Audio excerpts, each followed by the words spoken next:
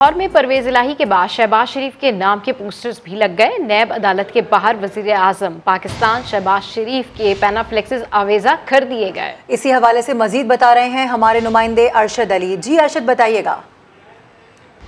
जी बिल्कुल, जो है वो दो रोज़ कबर लाहौर की मुख्तलिफ़ सड़कों के ऊपर जो है वो वज़ी अला पंजाब के लिए परवेज़ लाही के फ्लैक्सिस और बैनर्स अवेजा किए गए थे। आज जो है वो लाहौर की नैब अदालत के बाहर शहबाज शरीफ की तस्वीर जो है वो अवेजा की गई हैं, जिस पर जो है वो ये नारे दर्ज हैं कि वक्त की मजबूरी है, शहबाज शरीफ ज़रूरी है। इसके साथ साथ मैं अपने कैमरामैन खावर महमूद को कहूँगा कि ये मेरी बैक साइड पर जो है वो फ्लैक्स अवेजा है, जिसके ऊपर लिखा है, एक तस्वीर बड़ी जो है वो शहबाज शरीफ की हुई है और उसके ऊपर लिखा है कि इन वज़ीर अजम पाकिस्तान तहम जो है वो लाहौर की नैब अदालत ने शहबाज शरीफ और हमजा शहबाज को आज रमज़ान शुगर मिल और आशियाना केस में जो है वो अदालत के रूबरू पेश होने के अहकाम जारी किए थे। ताहम जो है वो शहबाज शरीफ इस्लामाबाद में मसरूफ़ होने के बायस अदालत के रूबरू पेश नहीं हुए। अदालत ने शहबाज शरीफ की हाज़िरी माफ़ी की दरख्वास्त मंजूर कर ली है।